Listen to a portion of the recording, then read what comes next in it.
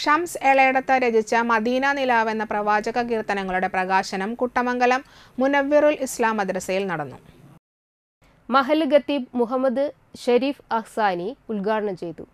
അത് വലിയ സൽക്കർമ്മമായി മുസ്ലിം ലോകം വിശ്വസിക്കുകയും അനുഷ്ഠിക്കുകയും ചെയ്യുന്നു.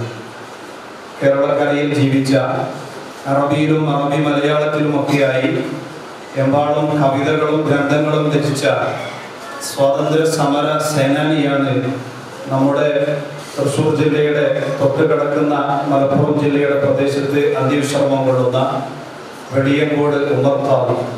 അദ്ദേഹത്തിന്റെ അറബി അറബി കാവ്യശകലങ്ങളിൽ അദ്ദേഹം പ്രവാചക പ്രകീർത്തനം നടത്തിക്കൊണ്ട് പറയുന്നതായി കാണാം.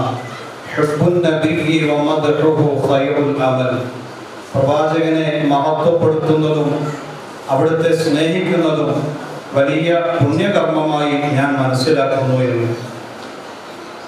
പ്രവാചകൻ സല്ലല്ലാഹു അലൈഹി വസല്ലമയുടെ അനുയായികളിൽ തന്നെ ഹസാൻ സാബിത്ത് റളിയല്ലാഹു അൻഹുവിനെ പോലുള്ള കഅബ് സുഹൈർ റളിയല്ലാഹു അൻഹുവിനെ പോലുള്ള എമ്പാടും പ്രവാചക അനുരാഗികളെ. Thrissur masters college M D Hamza P K അധ്യക്ഷത വഹിച്ചു.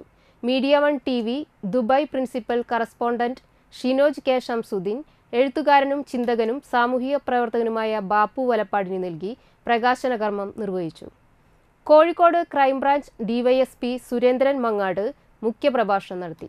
Ward member P H Babu K H Masood P S Zainuddin എന്നിവർ സംസാരിച്ചു.